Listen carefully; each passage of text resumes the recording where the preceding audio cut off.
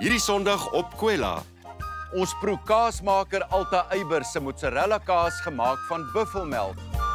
Hoor hoe volstruisdop juwele 'n organisasie vir gestremdes se deure help oophou.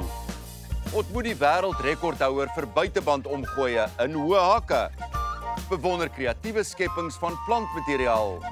En dan kondig ons die Kwela feite en geite wenvideo vir 2024 aan.